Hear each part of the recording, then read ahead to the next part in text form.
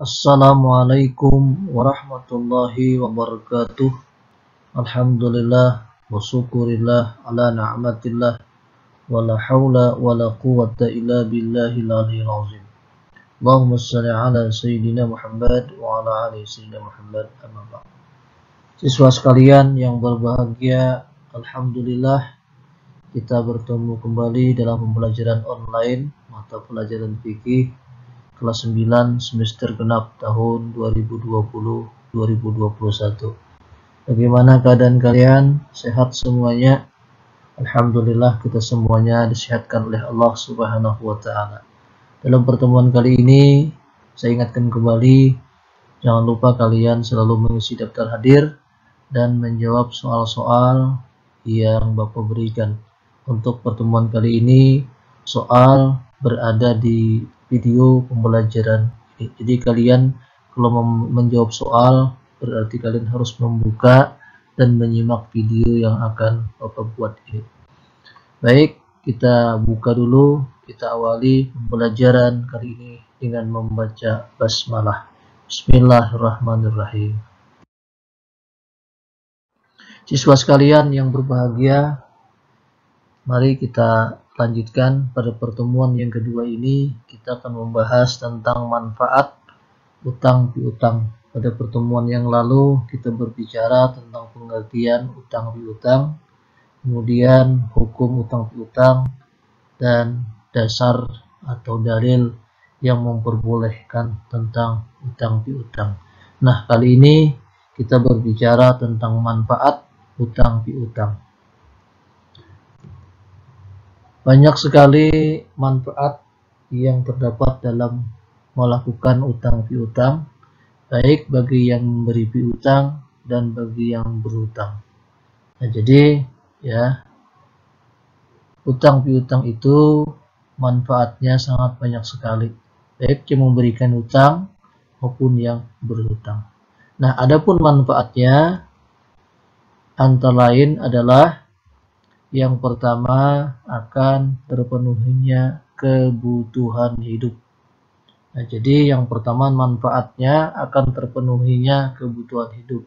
Tentunya adalah bagi yang berhutang. Nah, yang kedua atau yang B mengandung unsur tolong menolong dalam kebaikan.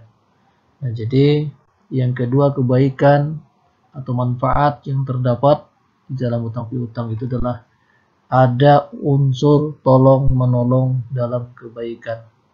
Allah Subhanahu wa taala memerintahkan kepada kita untuk selalu bertolong menolong di dalam kebaikan sebagaimana dijelaskan di dalam Al-Qur'an wa ta'awanu 'alal birri wat taqwa dan bertolong menolonglah kamu di dalam kebaikan. Kemudian yang ketiga atau yang C-nya memberi rasa percaya terutama bagi orang yang berutang untuk mengembalikan piutangnya. Nah, jadi ya bagi yang berutang bisa memberikan kepercayaan kepada yang pihak yang memberi utang agar piutangnya itu dikembalikan kepada yang memberi utang. Karena kalau tidak dikembalikan, maka akan hilang kepercayaan orang yang memberi utang kepadanya. Maka ya tanamkanlah di dalam hati kita ketika kita berutang kita yakin kita akan mengembalikannya. Sehingga saudara kita yang mempunyai kemampuan untuk memberikan hutang, dia akan memberikan hutang dan membantu kepada orang yang memerlukannya.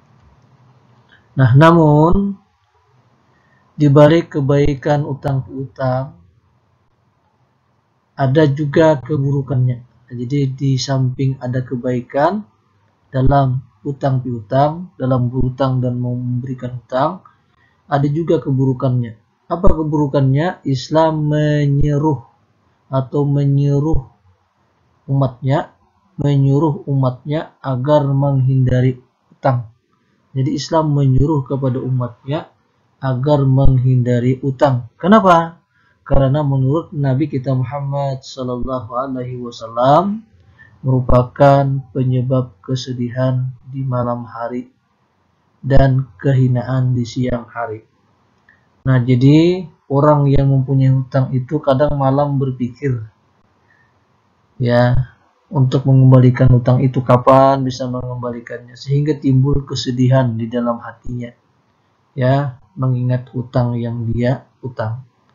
Dan pada siang hari akan menimbulkan kehinaan. Kenapa?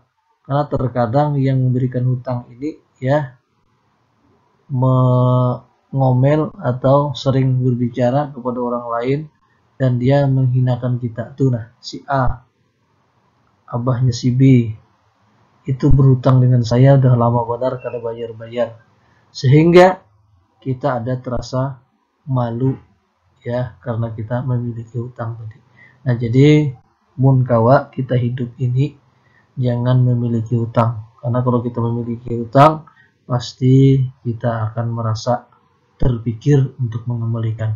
Tapi ada juga orang yang memang ya perbuatannya kurang baik, sifatnya kurang baik, ya dia seolah-olah ketika berhutang itu merasa mendapat, merasa untung, dan dia ya berpikir di dalam hatinya tidak ingin mengembalikan karena kata mengembalikan katanya merasa kehilangan Nah, itulah siswa sekalian yang berbahagia. Baik, kita lanjutkan. Yang kelima, adab dalam berhutang piutang. Nah, jadi dalam hutang piutang ini ada juga adabnya, ya. Dalam hutang piutang terdapat kewajiban yang mengikat pihak-pihak yang melakukan transaksi. Nah, jadi di dalam hutang piutang ya itu ada kewajiban. Ya, kewajiban siapa? Kewajiban yang memberi hutang dan kewajiban yang berhutang ya sehingga ya kita perlu ya perlu mempersiapkan dan perlu kita uh, membuat sesuatu perjanjian dan juga kita saling ya saling mempercayai kedua belah pihak. Kewajiban bagi yang memberi hutang ya tidak boleh meminta tambahan di satu bagi yang memberikan hutang tidak boleh memberikan tambahan ya kelebihan daripada uang yang dihutangkannya. Kenapa? Karena kalau ada kelebihan, walaupun misalnya seribu rupiah dari sekian juta, itu adalah kelebihan tadi termasuk riba.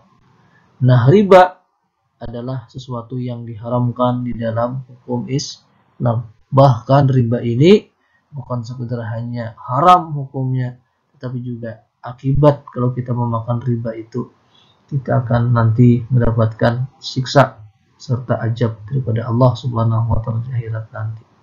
Nah, di dalam sebuah hadis dikatakan ya, sekecil-kecil dosa riba itu sama dengan berzina dengan orang tua kandung. Itu sekecil-kecilnya. Nah, seribu rupiah kita memakan uang riba itu sama dengan berzina ya berjinah dengan 70 peracur. Nah, jadi satu kali memakan riba dengan nilai yang hanya 1000 rupiah sama dengan berjinah dosanya dengan 70 pelacur. Nauzubillah subhanahu Maka ini ada satu cerita di tempat ya tinggal saya dulu ya di daerah uh, Kuala Kapuas. Itu ada orang yang suka mengutangkan uang dengan cara riba. Yaitu ya kalau berutang sejuta bayarnya satu juta seratus. Ya kalau orang uh, berutang 2 juta bayarnya 2 juta 200 itu menjadi darah daging dia dia seperti itulah meranakan atau istilahnya mengembangkan duitnya nah sehingga sampai suatu ketika orang yang suka merinterirkan uang tadi atau menggandakan uang tadi dengan cara seperti itu meninggal dunia. Nah, ketika meninggal dunia Allah menunjukkan sesuatu kekuasaannya. Orang yang meninggal tadi ya badannya begitu besar. Ya, istilahnya ketika dia meninggal dengan ketika dia hidup itu berbeda sekali. Bahkan katanya badannya itu melepuh kayak gosong kayak model dibakar oleh api. Nah jadi kosong dan juga besar kayak model bengkak gitu. Bahkan membesarnya hampir ya dua kali badannya yang yang asal sampai-sampai katanya kain kapan untuk membalut? Ya dirinya itu dua helai saja untuk menutupinya dengan di apa dijahit ya dengan lebarnya dua helai itu tidak bisa untuk membalut tubuhnya saking besar tubuhnya. Nah itulah ya akibat orang memakan riba. Nah kemudian bagi yang berutang mempunyai kewajiban sebagai berikut. Nah yang pertama yang berutang hutang piutang harus dicatat dan dipersaksikan. Nah jadi hutang piutang itu harus dicatat. Ya dicatat oleh siapa yang mencatat? Tentunya yang memberikan hutang kemudian ya diketahui dipersaksikan oleh dua orang saksi ya dan juga dilihat oleh yang berhutang apa tujuannya tujuannya suatu saat ya kalau di kemudian hari ada terjadi sesuatu masalah atau musibah misalnya ya yang memberikan hutang meninggal yang berhutang pun juga meninggal. Tetapi karena ada surat di situ, ya surat catatannya ada, saksinya ada, maka kita bisa bawa ya kita tuntut ke sesuatu ya yang pihak yang berwenang untuk menyelesaikannya. Kalau tidak ada catatan, maka akan hilang begitu saja. Baik, kemudian yang B wajib mengembalikannya pada waktu yang sudah dijanjikan. Nah, jadi bagi yang berhutang itu wajib mengembalikan hutangnya pada waktu yang sudah dijanjikan. Nah, kalau tidak mampu misalnya, tentunya ya pihak yang berhutang datang kembali kepada orang yang memberikan hutang untuk ya membicarakan kembali bagaimana ya saya minta waktu untuk mengembalikan uangnya. Nah, kalau kita sepakat ACC ya maka ya kita akan teruskan. Ya, kalau tidak kalau orang yang memberikan hutang tadi tidak mau ditambah waktunya, maka pihak yang berhutanglah berusaha bagaimana caranya bisa mengembalikan. Ya. Kemudian yang C-nya berhutang dengan niat yang baik. Jadi yang berhutang itu niat yang baik. Apa niat yang baik itu? Yaitu ya berniat bersungguh-sungguh berektikat ya untuk melunasi hutangnya. Jangan ya berutang rasa mendapat ya membayar rasa kehilangan jangan seperti itu baik yang keempat atau yang di jika di jika terjadi keterlambatan karena kesulitan uang hendaknya memberi tangguhan kepada orang yang memberi utang jadi kalau kita kada mau membayar untuk sementara waktu kita datang ke tempat yang memberikan utang untuk yang memberitahukan untuk sementara saya tidak memiliki uang. Ya saya minta waktu beberapa hari atau beberapa minggu atau beberapa bulan ke depan ya untuk menjadikan ya uangnya untuk dibayar. Siswa sekalian yang berbahagia kemudian yang kelima atau yang E menggunakan uangnya untuk kebaikan dan sebaik mungkin jadi bagi yang berhutang itu menggunakan uangnya sebaik mungkin untuk keperluan yang sangat perlu.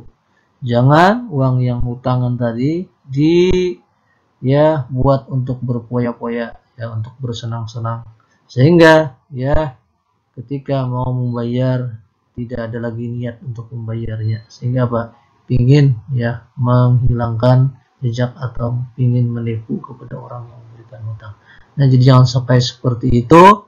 Kita kalau kita berhutang, ya berhutanglah dengan baik.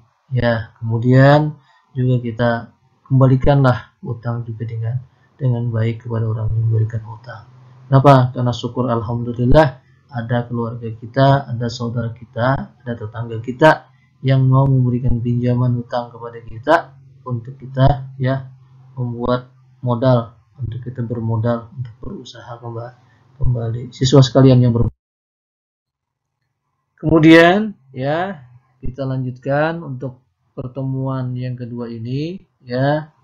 Soal ada di video pembelajaran ini. Kalian harus betul-betul membuka atau menyimak atau menonton video pembelajaran di YouTube ini. Nah, soalnya yang pertama kalian catat ya. Satu sebutkan tiga manfaat utang piutang. Ini soal yang pertama. Sebutkan tiga manfaat utang piutang. Yang kedua, sebutkan lima adab dalam berhutang piutang. Nah, jadi soalnya dua saja. Yang pertama adalah sebutkan tiga manfaat utang piutang. Kemudian yang kedua, sebutkan lima adab dalam berutang piutang. Nah, jawaban kalian tulis di lembaran kertas atau buku, kemudian kalian kirim ke KI 3. Jawabannya. Nah, untuk lebih jelasnya, jawabannya ya kalian cari di LKS ya bab tentang utang piutang. Nah, demikian ya pertemuan kali ini. Sebelum Bapak akhiri, ya Bapak tutup dulu dengan mengucapkan hamdalah. Billahi taufiq walidayah. Assalamualaikum warahmatullahi wabarakatuh.